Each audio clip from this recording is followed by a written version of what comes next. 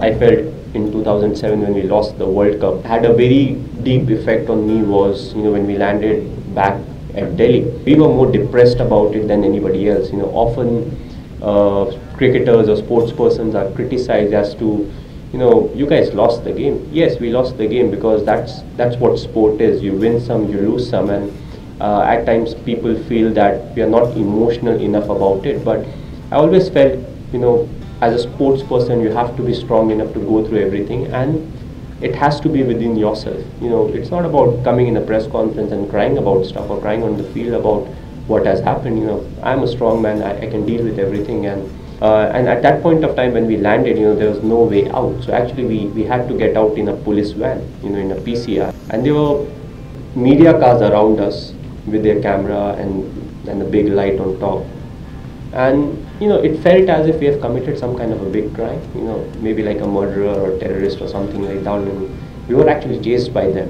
And after a while you know maybe five minutes or seven minutes we actually entered a police uh, station. We went there we sat for a while and we're like okay we'll get the cars. We sat in the car and we left after 15 20 minutes. So that actually had a, a big impact you know when it comes to me.